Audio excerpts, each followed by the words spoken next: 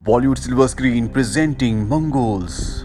कहानी की शुरुआत होती है सन 1172 में, जहाँ पर हमें एक राज्य दिखाया जाता है जहाँ पर बहुत सारे छोटे छोटे कबीले हैं। ये कबीले आपस में हमेशा लड़ते रहते हैं। इन्हीं कबीलों में से एक कबीले का सरदार अपने बेटे, जिसका नाम तिमोजिन है, जो मात्र 11 साल का है। उसके लिए लड़की ढूंढ रहे होते हैं ताकि उसकी शादी करवा सके। वो लड़की ढूँढने के लिए अपने एक दोस्त के कबीले में जाते हैं, जहाँ पर वो अपने दोस्त से मिलते हैं। यहाँ पर तिमोजिन की मुलाकात एक लड़की से होती है, जिसका नाम बोरते होता है। बोरते तिमोजिन से पूछती है कि तुम यहाँ पर क्या करने के लिए आए हो? तिमोजिन बताता है कि मैं अपनी शादी के लिए लड़की ढूँढने के लिए यहाँ पर आया हूँ। बोरते कहती है, फिर तुम्हें मुझसे शादी कर लेनी चाहिए। ये कहकर वो वहाँ से चली जाती है। अगली सुबह तिमोजिन के सामने बहुत सारी लड़कियाँ पेश की जाती है क्योंकि उसे इनमें से एक को चुनना होगा और वो इनमें से बोरते को ही चुनता है, जिसके बाद इनकी शादी कर दी जाती है। पर यहाँ कबीले के कुछ रीति रिवाज हैं जिसके मुताबिक ये शादी के पाँच साल बाद ही एक दूसरे के साथ रह सकते हैं, क्योंकि अभी ये दोनों के दोनों छोटे हैं। तिमोजिन जाने से पहले बोरते को अपना एक लॉकेट देता है और कहता है कि मैं जल्दी तुम्हारे पास आऊँगा। इसके बाद वो अपने पिता और उनके साथियों के साथ यहाँ से निकल जाता है। सफ़र लंबा होता है, इसीलिए रास्ते में ये एक जगह आराम करते हैं। इनसे कुछ ही दूर एक और कबीला होता है जो वहाँ पर आराम कर रहा होता है। वो कबीले वाले तिमोजिन के पिता के लिए दूध का एक प्याला भेजते हैं। ये इस बात का संकेत होता है कि आपस में दोस्ती चाहते हैं।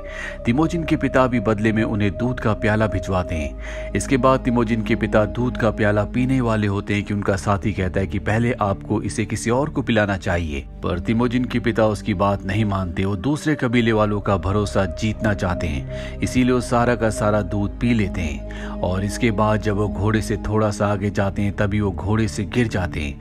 उनकी मृत्यु हो जाती है। इसका मतलब ये है कि दूध के प्याले में जहर था। अब यहाँ पर तिमोजिन के पिता के जितने भी लोग होते हैं, वो उनकी बॉडी को यहीं छोड़कर चले जाते हैं, क्योंकि उनकी खुद की जान को खतरा होता है। वहीं तिमोजिन के पिता का जो लेफ्टिनेंट होता है, वो तिमोजिन के पिता के सभी जानवरों पर और साथ ही उनके लोगों पर अपना अधिकार स्थापित कर देता है।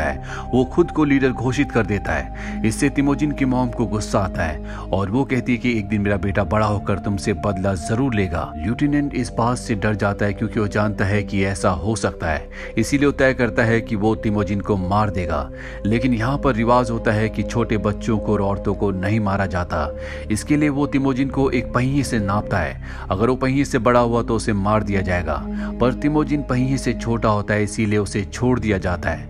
पर जाने से पहले लेफ्टिनेंट कहता है कि मैं अगले साल दोबारा आऊँगा और तिमोजिन को मार दूँगा। और अब तिमोजिन के पास एक साल है, क्योंकि एक साल बाद वो पहिए से बड़ा हो जाएगा। उसे अपनी जान बचाने के लिए यहाँ से जाना होगा। इसीलिए बर्फीली ठंड में वो यहाँ से निकल जाता है। उसे अपने पिता की एक बात याद आती है जब उसके पिता ने उसे बताया था कि पहाड़ों के ऊपर उनके देवताओं के मंदिर हैं जो उनकी रक्षा करते हैं। अब तिमोजिन को एक झील पार करनी होती है जो बर्फ़ से पूरी तरह से जमी होती है और जब वो उसे पार कर रहा होता है तभी बर्फ़ टूट जाती है पानी के अंदर गिर जाता है। इससे पहले कि उसकी जान जाती, यहाँ पर एक बच्चा आकर उसे बचा लेता है और अपने साथ ले जाता है, जहाँ पर उसका एक भाई भी होता है। अभी तिमोजिन को दूध का एक प्याला देते हैं जिसमें ये अपना रक्त डालते हैं। और तिमोजिन से कहते हैं कि तुम इसे पी लो। तिमोजिन उसे पी लेता है, जिसके बाद ये कहते हैं कि अब तुम हमारे ब्लड ब्रदर हो, यानी कि हम तीनों भाई हैं। धीरे धीरे वक्त बीता और कई महीने बीत जाने के बाद, लेफ्टिनेंट एक बार फिर से तिमोजिन को ढूंढ लेता है। वो उसे बंदी बनाकर अपने साथ ले जाता है और एक बार फिर से पहिए से उसकी लंबाई नापी जाती है, लेकिन अब भी तिमोजिन छोटा होता है। पर लेफ्टिनेंट तय करता है कि अब वो उसे छोड़ेगा नहीं। जब तक तो वो बड़ा नहीं हो जाता, वो उसे बंदी बनाकर अपने साथ रखेगा। वो तिमोजिन के गले में हमेशा लकड़ी का एक फंदा बनाकर रखता है। यहीं पर एक आदमी होता है जो हमेशा तिमोजिन को खाना खिलाता है, उसका ध्यान रखता है। उसके जख्मों को साफ़ करता है। दरअसल ये चाहता है कि तिमोजिन यहाँ से निकल जाए, लेकिन ये उसे ऐसे नहीं निकाल सकता, क्योंकि हमेशा लोग आसपास होते हैं। लेफ्टिनेंट कई बार उसकी हाइट नापता है, लेकिन तिमोजिन अब भी छोटा होता है।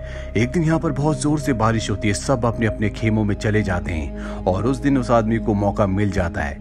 वो तिमोजिन को आज़ाद कर देता है, कहता है कि तुम यहाँ से निकल जाओ। तिमोजिन वहाँ से भाग जाता है, और अब भागते भागते वो उन पहाड़ियों तक पहुँच जाता है, जहाँ पर उनके देवताओं के मंदिर है। जिसके बारे में उसके पिता ने कभी उसे बताया था। अब तिमोजिन यहाँ पर रहना शुरू कर देता और देखते देखते चौदह साल बीत जाते हैं। तिमोजिन अब बड़ा हो चुका है, पर आज भी वो लेफ्टिनेंट के आदमी उसे भाग रहा होता है, वो उसका पीछा कर रहे होते हैं। और कई सालों के बाद वो तिमोजिन को पकड़ लेते हैं और एक बार फिर से उसी तरह से उसे बंदी बना दिया जाता है, जिस तरह से बचपन में बनाया गया था। जिसके बाद लेफ्टिनेंट उसके पास आता और कहता है कि तुम मुझसे ज़िंदगी की भीख मांगो, लेकिन तिमोजिन कहता है, भले ही मैं मर जाऊँ, लेकिन मैं तुमसे ज़िंदगी की भीख नहीं मांगूँगा। इससे लेफ्टिनेंट को गुस्सा आता है और कहता है कि अब मैं तुम्हें तड़पाऊँगा इसके बाद वो उसके साथ अत्याचार करना शुरू कर देता है। एक रात को कबीले के सभी लोग जब जश्न मना रहे होते हैं तो लेफ्टिनेंट तिमोजिन के पास नशे की हालत में आता है। तिमोजिन इस बात का फ़ायदा उठाकर उस पर हमला करके उसे मार देता है और इस जगह से भाग जाता है। यहाँ से भागने के बाद सबसे पहले वो उस लड़की के पास जाता है, जिसे बचपन में उसने लॉकेट दिया था, जिससे उसकी शादी हो गई थी, जिसका नाम बोरते है। वो बोरते को लेकर अपनी मॉम और अपनी बहन के पास वापस आ जाता है, जहाँ पर वो अपने परिवार के साथ खुशी खुशी रहना शुरू कर देता है। पर एक दिन दूसरे कबीले वाले इनके ऊपर हमला करते हैं और यहाँ से बोरते को उठाकर ले जाते हैं। दरअसल इस कबीले का सरदार जब छोटा था तो तिमोजिन के पिता ने इनके कबीले के ऊपर हमला किया था और इस सरदार की मॉम को उठाकर ले गया था। तब इस बच्चे ने कसम खाई थी कि जब ये बड़ा हो जाएगा तब ये बदला लेगा और इसीलिए तिमोजिन की पत्नी को यानी कि बोरते को उठाकर ले गया है। अब वो किसी भी तरह से अपनी पत्नी को वापस पाना चाहता है। पर तिमोजिन के पास इतनी बड़ी सेना नहीं है, ना ही उसके पास इतनी शक्ति है कि वो सरदार के साथ उसके कबीले के साथ जंग लड़ सके। इसीलिए वो अपने बचपन के उन भाइयों के पास जाता है, जिनमें से एक ने उसे झील के अंदर से निकाला था और उसके बाद दूध पिलाकर कहा था कि हम तीनों अब भाई हैं। उसका भाई कहता है कि हम उस कबीले से लड़ नहीं सकते, वो बहुत ही शक्तिशाली है। इसके लिए हमें एक साल चाहिए।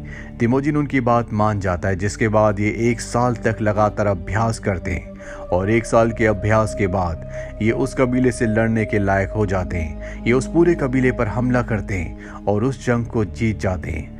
पर जब तिमोजिन अपनी पत्नी के पास जाता है तो उसे पता चलता है कि उसकी पत्नी बोरते अब उस कबीले के सरदार के बच्चे की माँ बनने वाली है। लेकिन तिमोजिन अपनी पत्नी बोरते से बहुत प्यार करता है, इसीलिए वो उसे अपना लेता है।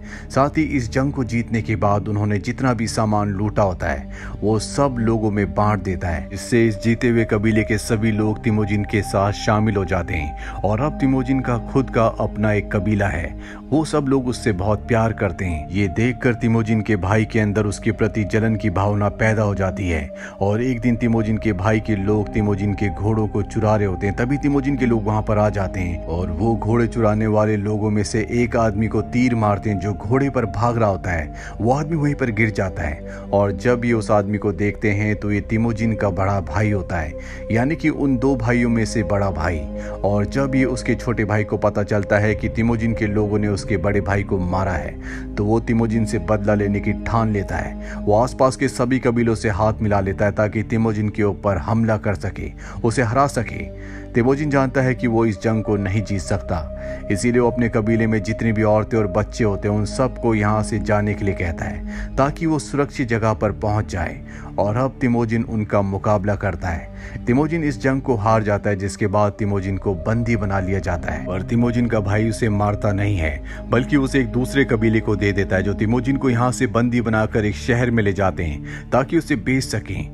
पर तिमोजिन को कई दिनों तक कोई नहीं खरीदता। एक दिन वहाँ पर एक राजा आता है, जो तिमोजिन को खरीद लेता है और अपने शहर के बीचों बीच पिंजरे में कैद कर देता है। यहाँ पर सब के सब लोग तिमोजिन के ऊपर हँसते हैं। यहीं पर एक बुद्धिस्ट मोंग भी होते हैं, जो बार बार तिमोजिन के पास आते हैं और उससे बात करते हैं, जिससे उन्हें पता चलता है कि तिमोजिन के अंदर बहुत पोटेंशियल है। वो आगे चल के कुछ बड़ा काम करेगा। तिमोजिन एक दिन अपना बोन लॉकेट उस मॉन्ग को देता है। वही लॉकेट होता है जो उसने बचपन में अपनी पत्नी को दिया था।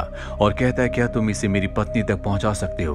मॉन्ग कहता है, मैं पहुँचा दूँगा, लेकिन वादा करो कि जब भी तुम इस जगह पर कब्जा करोगे तो यहाँ पर जो हमारे लोग हैं, यानी कि जितने भी मॉन्ग्स हैं, तुम उन्हें हमेशा के लिए अलग कर दोगे। उन पर किसी तरह का जुल्म नहीं होने दोगे। तिमोजिन उससे वादा करता है कि मैं ऐसा ही करूँगा। और इसके बाद मॉन्ग उसका लॉकेट लेकर उसकी पत्नी को ढूँढने के लिए निकल पड़ता है।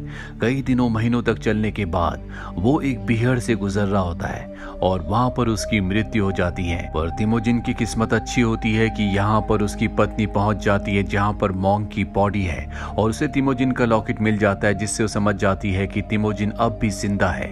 और वो तिमोजिन को ढूंढते ढूंढते उस शहर में पहुँच जाती है, जहाँ पर उसे बंदी बनाकर रखा गया होता है। वहाँ पर वो एक सिपाही को पैसे देती, यानी कि रिश्वत, और तिमोजिन को वहाँ से निकाल कर अपने साथ ले आती है। तिमोजिन एक बार फिर से अपने बच्चों के साथ, अपनी पत्नी के साथ वापस पहुँच चुका होता है, जहाँ पर वो खुश होता है। एक दिन उसकी पत्नी कहती है कि जितने भी सरदार होते हैं, सब वो एक जैसे होते हैं लोगों के ऊपर जुल्म करते हैं। तिमोजिन को एहसास होता है कि उसे एक बड़ा राज्य बनाना चाहिए, इसीलिए अपने परिवार को छोड़कर निकल जाता है। वो सभी कबीलों से मिलता है, और उनके साथ मिलकर एक बड़ी आर्मी बनाता है, जिसमें वो तय करता है कि कभी कोई किसी औरत और बच्चे पर जुल्म नहीं करेगा, ना ही कोई अपने सरदार को धोखा देगा, और हम मरते दम तक लड़ेंगे। और सन ग्यारह में वो अपनी एक बड़ी आर्मी बना लेता है, लेकिन अब भी वो राजा नहीं बना होता, क्योंकि उसके सामने एक और सेना होती है जो उसी के भाई की है। हालाँकि तिमोजिन अपने भाई की आर्मी से अपने भाई से लड़ना नहीं चाहता, लेकिन अब उसके पास कोई भी ऑप्शन नहीं है। इन दोनों सेनाओं के बीच में एक भयानक जंग होती है, जिसे तिमोजिन जीत जाता है। लेकिन वो अपने भाई की सेना के जो पकड़े हुए सैनिक होते उन्हें मारता नहीं है, बल्कि उन्हें भी अपनी सेना में शामिल कर लेता है। जबकि अब से पहले रूल ऐसा हुआ करता था कि पकड़े हुए सैनिकों को मार दिया जाता था। वो अपने भाई को भी पकड़ लेता है, लेकिन उसे बंदी नहीं बनाता, बल्कि उसे छोड़ देता है। और 1206 आते आते वो पूरे मंगोल का राजा बन जाता है, जिसके बाद तिमोजिन को चंगेज खान के नाम से जाना गया। हालाँकि उसने पूरी दुनिया पे राज किया, लेकिन चंगेज खान एक बहुत ही क्रूर इंसान था, जिसने हज़ारों लाखों बेगुनाह लोगों को मारा। जो कि इंसानियत के लिए एक शर्म की बात है। तो ये थी पूरी कहानी फ़िल्म मंगोल की। उम्मीद करते हैं कि ये कहानी आपको पसंद आई होगी।